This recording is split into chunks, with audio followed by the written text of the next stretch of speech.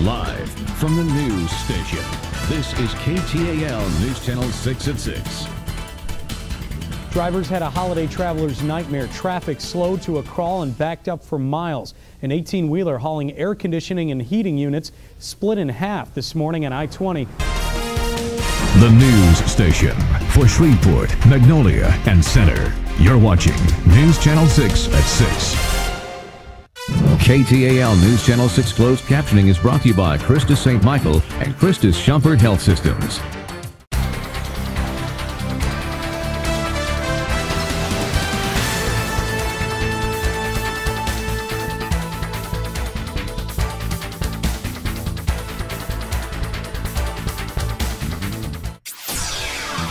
Live from the news station, Sean Patrick, Lane Stone, Chief Meteorologist Todd Warren, the Forecast Lab, and Dave Foster with sports. You're watching KTAL News Channel 666.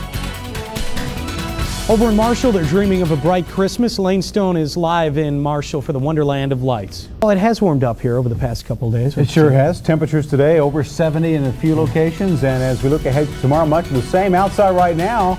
A beautiful picture as we give you a look at what's uh, happening in Marshall. The Wonderland of Lights has been illuminated and uh, a nice evening to head to Marshall, at least for the next couple of hours. That could change though here as we work our way through the evening. Another tornado watch is possible. We'll talk about that in your forecast. Coming up next. The news station for Bossier City, Spring Hill, and Foreman. You're watching News Channel 6 at 6.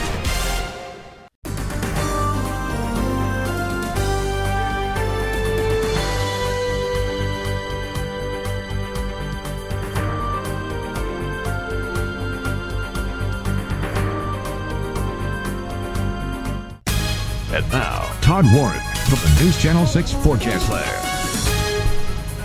Welcome back. You've probably noticed the humidity increasing across the area today if you were outside, and that is going to lead to some thunderstorm activity. Let's give you a look at what's happening outside right now. Lows cooling back down into the 30s. In fact, Saturday morning, another freeze on the way as we bottom out at 30 degrees, only to see temperatures go right back up into the mid to upper 60s by the time everybody heads back to work on Monday and Tuesday. So that roller coaster of temperature that we talked Yeah, about really. is going to continue.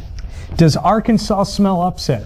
Well, uh, you know, they're thinking about it. Absolutely. Yeah, the uh, Hogs and the Tigers are, uh, you know, they're going to play in uh, Baton Rouge on Friday, day before Saturday, usual day, of course, but they're going to play a big game, and Puck is going to pick it. We'll see who's picking it.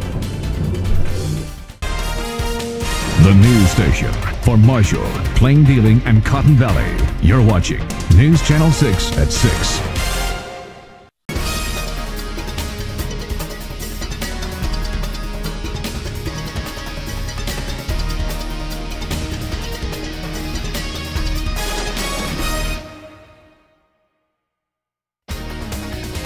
And now, News Channel 6 Sports with Dave Foster.